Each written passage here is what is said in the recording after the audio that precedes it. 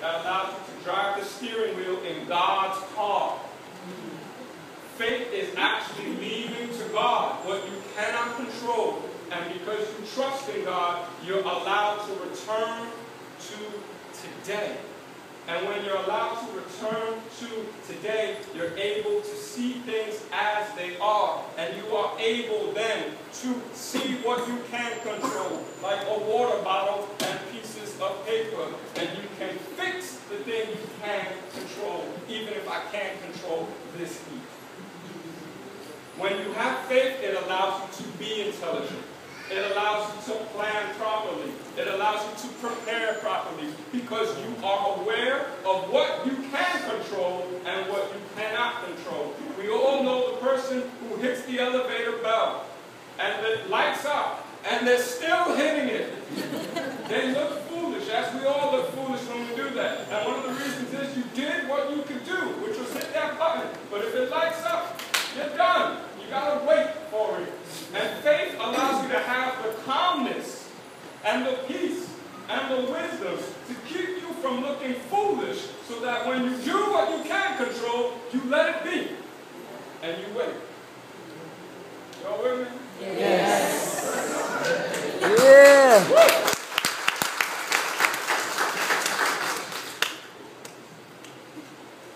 Tomorrow has enough evil of its own. King James says, sufficient unto itself is the evil of tomorrow. We're not dealing with that. Too, too, too great, right? Um, tomorrow has its own problems, Jesus is saying. There's something interesting. We're on Earth. Earth goes around the sun. Earth spins. Because the Earth spins, day turns to night. So tomorrow is when night turns back to day. We're on something that's moving, that's spinning. And our perspective as human beings is we are spinning and we're moving. And so we have many tomorrows. The sun doesn't have any tomorrows. It has one long today. It doesn't spin, it doesn't revolve. It just shines. And so for the sun, while Earth has many, many, many thousands, millions of days, for the sun's relationship to the earth, it's been one long today. When we trust in God, God loves us the same yesterday, today, and tomorrow. And the reason it's the same is because for God and us, for God, it's one long today. He who helps you neither slumbers nor sleeps. For God takes no break. God takes no sleep. There is no tomorrow for God. It is one constant, long today. God's faithfulness is true every morning because it goes nowhere. It is constant and consistent. When we have faith, we end up taking the perspective not of a shifting earth, but of a constant sun. And so we are allowed to place into God's hands things we cannot control. And what we end up getting back is the one thing that we always had, which was today.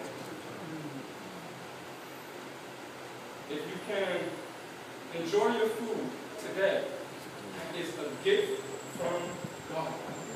If you can enjoy your soda today, that is a gift from God. If you can enjoy being around the people you're around, that is a gift from God. If you can enjoy all these things knowing that there is a whole lot of problems in this world, in this society, you cannot control, and they will get you at one point or another. Yes, they will. Nonetheless, if you are able to trust in God, still feel the nervousness, but leave it in God's hands, you are able to live in today. And to be able to live in today is to be able to live. Seek ye first God's kingdom and his righteousness. And all these things shall be added unto you. For some of you, that may be a realization that when you seek God first, you are able to get back today and therefore you're able to realize all the things you already have. There are some, though, I know in here who are really, employment is an issue. Some don't have a job. Finances are hard.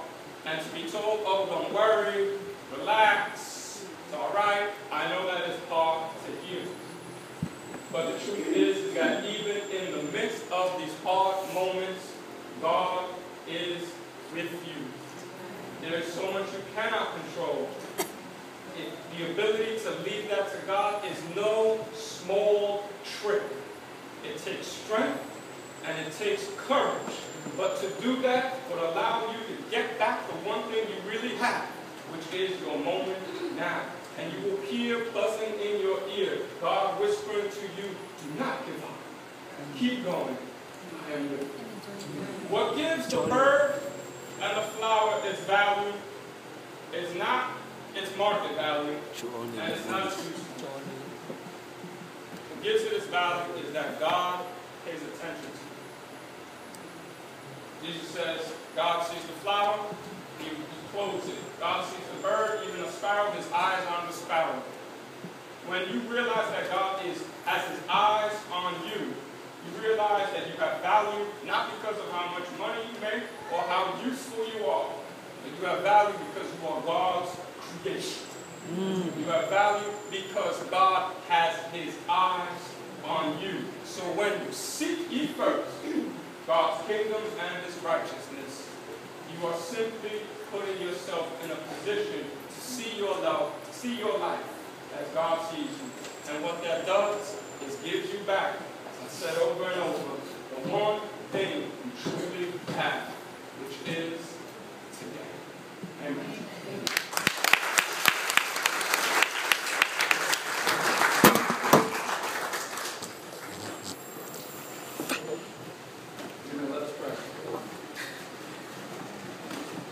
Lord, we, we give to you all our worries. Uh, Lord, there is much we cannot control. Teach us the wisdom to see what we can control and what we cannot control. To give us the courage, O oh Lord, to do what we can control and to leave to you, to leave in your hands what we cannot control. And though we cannot control tomorrow, we know you who holds tomorrow in his hands. We just ask, O oh Lord,